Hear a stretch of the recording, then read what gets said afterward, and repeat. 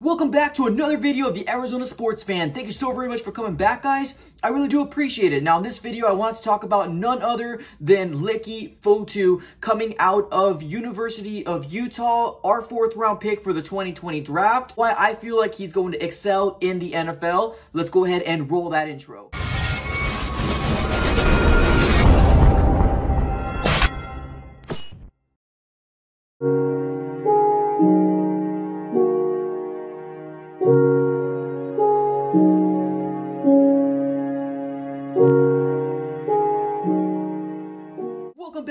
Now like I mentioned in the intro, today what I want to talk about is Leki Fotu. Now before we get started, if you guys can do me a big, big favor, drop a like on this video. It helps the channel out grow tremendously. And if you're new and new to the Arizona Sports Fan YouTube channel, make sure you drop a subscription. We're trying to hit 3,000 subscriptions by the beginning of uh, NFL season, which I think right now we're about three weeks away from the NFL season, at least until the Arizona Cardinals plays the San Francisco 49ers. And man, I could not be any more excited.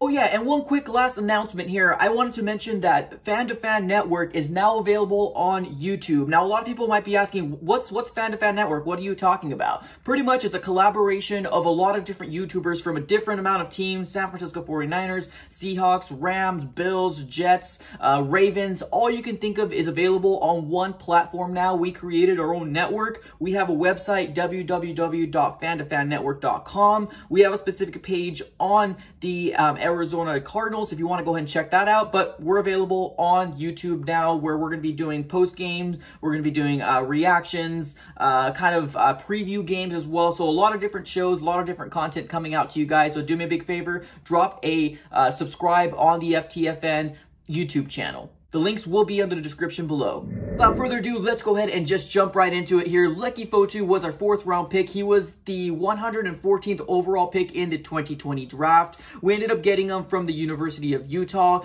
Now, uh, here's a couple different stats here um, based off of Leki Fotu's uh, last college season here. Now, some stuff that actually, you know, popped out to me is that he had nine tackles for loss and he had two pass breakups. Now he his statistics for like sacks isn't all that great, but I love the idea of Leki Fotu getting nine tackles for loss. Like that pretty much means when a running back is trying to, you know, kind of come in and he pretty much tackles them, not meeting the, uh, the, the scrimmage. Like, that's really exciting to me. I'm super excited about it. And this guy is such a big individual. He's 6'5", 335 pounds. Now, there has been some people talking about him in training camp, so really excited about him. Um, one person that really stuck out is Jordan Phillips. He said some really awesome things about him. And it's funny because he actually came out and said, man, that, that's a really big guy out there. Now, super exciting because honestly, Jordan Phillips is also a big guy. So to go ahead and recognize Leki Fotu as a big individual. That's insane, crazy information right there. I'm super excited to see the progression of Leki Fotu. There was uh, talks out there saying that the, the defensive coordinator, uh, I believe it was Vance Joseph or somebody in the defensive side, that they really want him to use his body, his 6'5 body uh, frame, and basically be a bully uh, within the NFL because he's got such a such a big body type. Now, to me specifically, he really does remind me a lot of Vita Vea. Uh, he was drafted by the Tampa Bay Buccaneers.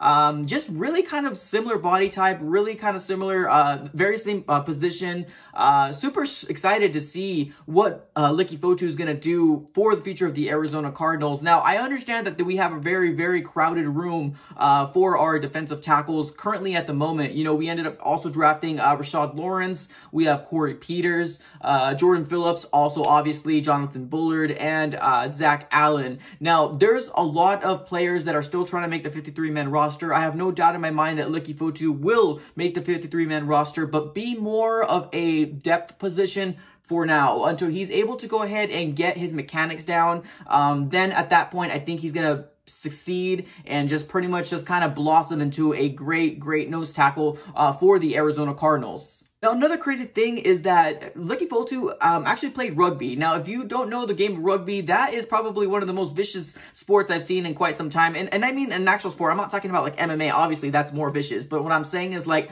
they, it's crazy. I, I've watched a game before in a rugby and I, I never understood the rules to it. But man, those guys hit really hard. So he was playing rugby for a little bit and then uh, football coach in college ended up seeing him and scouted him and um, ended up seeing if he could play the defensive line and he ended up putting on weight and he became the player that he is currently right now. Now, one thing that I really do like for Leki Fotu is that he comes from the University of Utah. Now, their system, their defensive scheme is known to be very, very similar to what is kind of played in the NFL. So a really smooth transition, I feel like it's going to be for Leki Fotu. I think he's just got to work on a little bit more of his mechanics more than anything. Uh, but I think he quite gets what he needs to do. He just got to make sure that, you know, it's kind of different body types out there. The offensive linemen are going to be much stronger than they are in college uh, because obviously we're in the NFL level. So, so there's that. But the moment we get him going and he becomes a starter for the Arizona Cardinals, I have no doubt in my mind that we're going to be seeing the production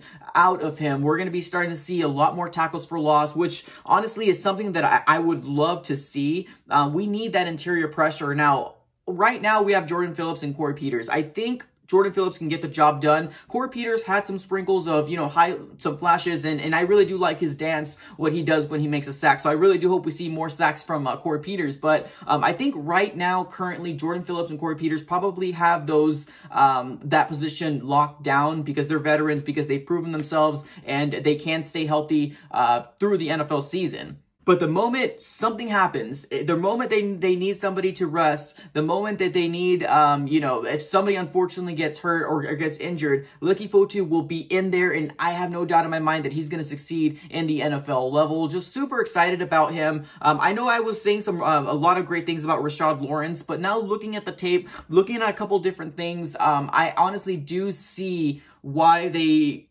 chose Leki Fotu just over Rashard Lawrence um, in the NFL draft. Really excited about Rashard Lawrence and what he can bring to the table, but I just see the the physicality, the the the, the hungriness into being a great player, and I see that within Fotu. So super excited to see um, what he's going to come out to and what he's going to blossom into the NFL. Uh, let me know what you guys think in the comments below. Um, if you're new, please consider subscribing, and like I mentioned before, don't forget to drop a like. It helps this channel tremendously grow. That's pretty much all I got for this episode. Thank you so very much. I'm out. Thank you.